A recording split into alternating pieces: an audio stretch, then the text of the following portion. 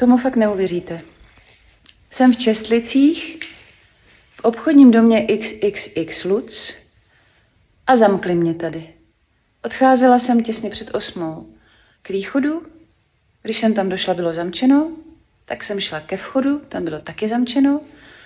A už jsem tady dobrou půl hodinu v úplně prázdném baráku. Není tady ani noha, když volám, nikdo se neozývá. A volám na policii. Už jsem volala na pět míst a nikdo mi není schopen pomoct. To je dobrý, co? Tak já vám pak budu vyprávět, jak to dopadlo. Takže... Slyšíte ten alarm? To bude asi kvůli mně. A možná ne, já nevím. Ale pořád tady chodím. Jak vidíte, je tady tma. Jenom jsem tam něco někde svítí. A já jsem tady úplně sama. XXX Lutz. Už se mi konečně ozvala znova zpátky policie a snad by mě měl někdo odsud vysvobodit. Dobrý, co? Ten svědčí o tom, že v tomhle baráku opravdu pracuje tak málo lidí, že si tady asi můžete dělat, co chcete.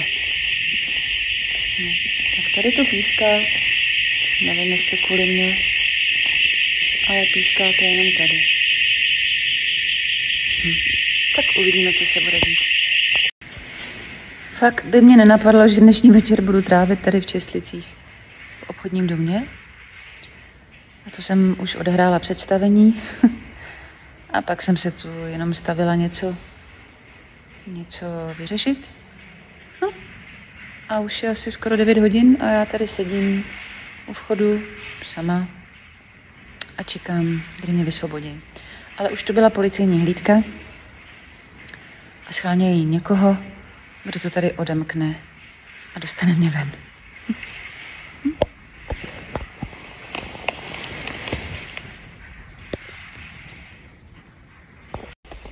Tak, přišli pánové a jsem osvobozena.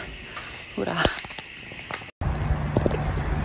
Tak, já jsem došla ke svému autu. Světilka za mnou je policejní auto se dvěma muži, co mě dostali ven a jedním správcem tady toho baráku, který se hrozně rozčiloval, že musel přijít že ho někdo otravoval večer, že musel odemknout. A proč jsem teda nestála nastoupená v 8 hodin u východu. Tak uh, si dávejte pozor, ještě mě zkontrolovali, jestli jsem náhodou něco neukradla. Dávejte si pozor, aby se vám něco podobného jako mě nestalo. Odcházejte z obchodu včas, protože jinak se možná pomoci nedovoláte. Hezký večer.